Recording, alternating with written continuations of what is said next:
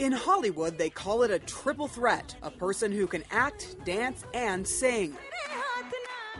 But this is Bollywood, which has a unique formula for success the world outside of India is largely unaware of. The songs can make an actor a megastar, but the actors aren't the ones actually singing.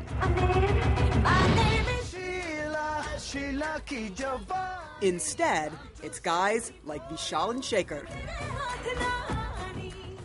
Just went nuts. Yeah, just cra- went crazy.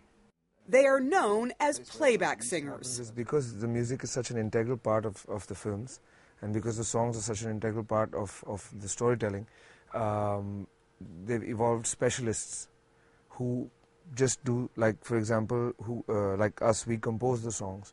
Many times we sing them ourselves. Uh, and uh, on screen, there's somebody else actually mouthing, uh, you know, that vocal.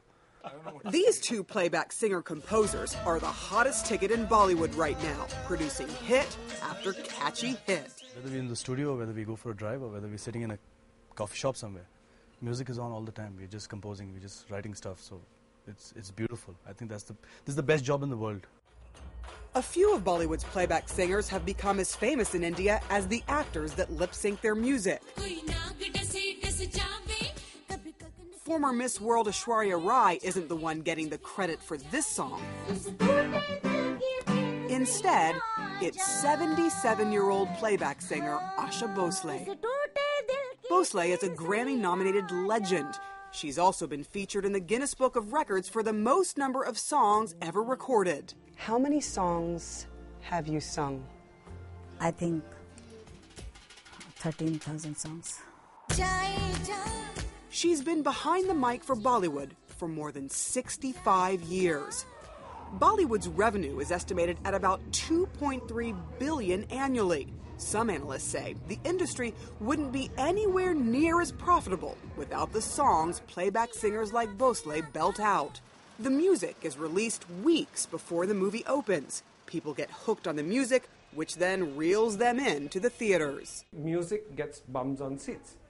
And it does help the producer even sell other other rights like satellite rights, DVD rights, etc. So whether a film actually does well at the box office or not, if the music starts do, uh, by doing well, um, you've got a potential hit. Still, much of the glory and money goes to the beauties on the screen. Did you ever think, I want to be on screen?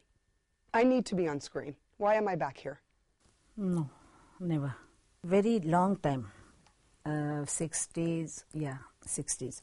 Some peop- some producer asked me, "Can you work in the film?" So I said no. Well, he said, "Why?" I said, "I see my face every morning, so I will not."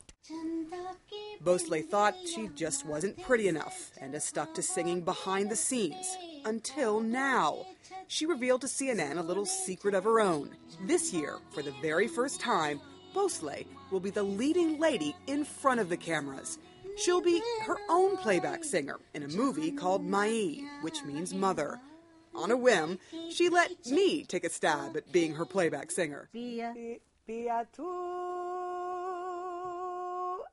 tu, ab to aaja. That you're being so mean, I can't do it. It was decided to leave the singing to the professionals. Sara Sidner, CNN, Mumbai.